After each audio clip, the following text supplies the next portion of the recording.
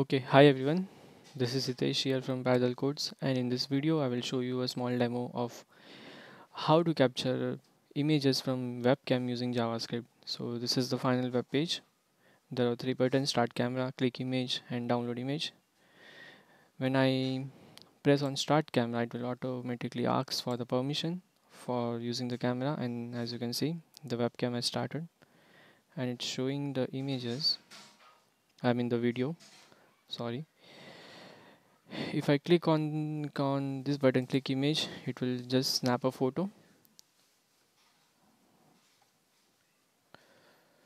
Click image okay and when I download it will just download the image.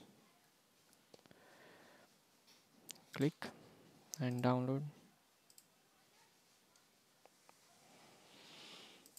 Okay so here is the source code the design is pretty simple. I'm using bootstrap C uh, CSS and this is row.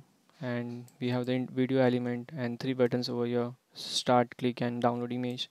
And on the canvas I'm drawing I'm like capturing the uh, image. And this is the JS JavaScript code. I have also like applied some validations on this code. So when you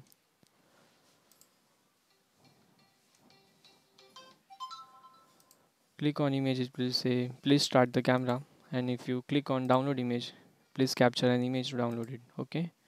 So only when I start the camera it will allow me to click the image. And if I have not clicked any images and I press on download it will not show me please capture an image. So click image and download image.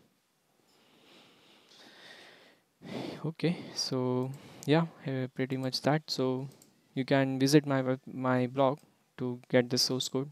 Thank you for watching. Take care. Bye